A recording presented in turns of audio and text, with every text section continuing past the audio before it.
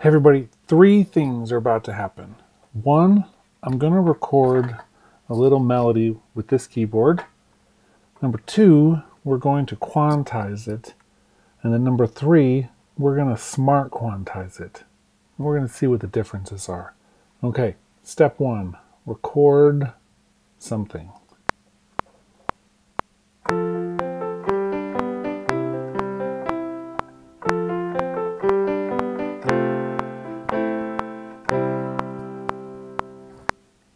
Keep it really simple for this.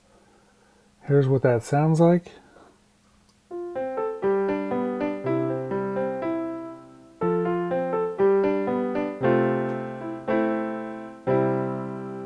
Perfect. Let's take a peek at it.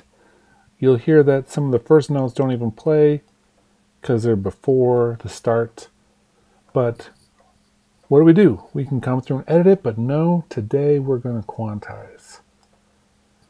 And we always quantize, if you remember the rule, we quantize to the shortest division of the beat that we have played. So we have 16th notes. If we do eighth notes or higher, it will actually remove some of the rhythms we played. 100% quantize, you see now they're on the actual downbeats.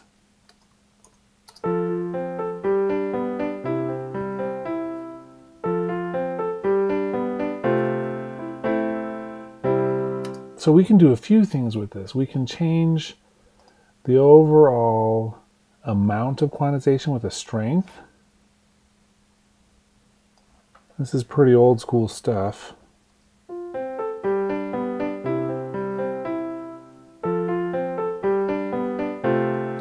We can also change the range. So how far out of the range does it need to be before it doesn't quantize it at all?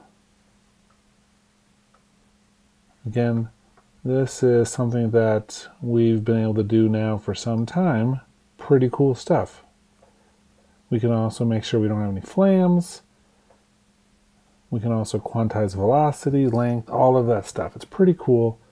But what we want to do now for number three is use one of the newer things in Logic, which is Smart Quantize.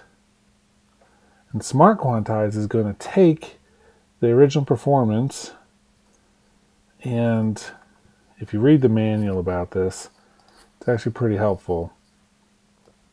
It talks about how it's working like flex time. So now we've got flex time. We're using the principles here to do a smart quantize, and it's using MIDI events near the grid positions. They're analyzed based on a combined weighting of proximity to the target grid position and velocity. So each of them get a center of gravity and get pulled into quantization in a much more intelligent way based on different parameters than just the starting position. Let's listen to this real quick.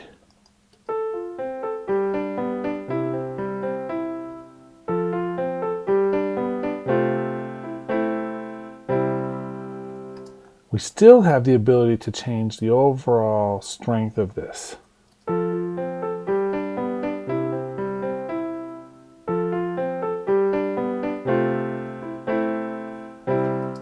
You'll see, look at these notes as they go up.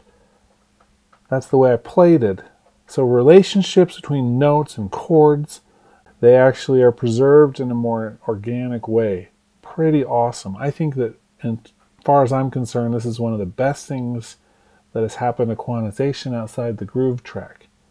And as your bonus today, let's actually make a drummer track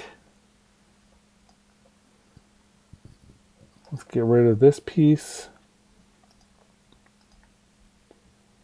Pull this down to this length.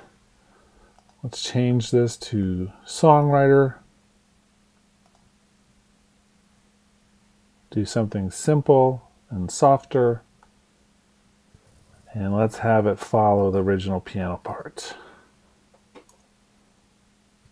On top of that, really quickly, Let's add the groove track in.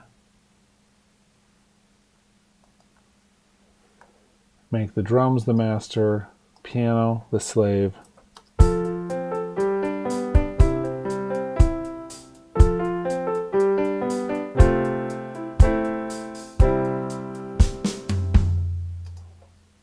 Wow, such beautiful music. Okay, just want to show you the new Smart Quantize, how awesome it is.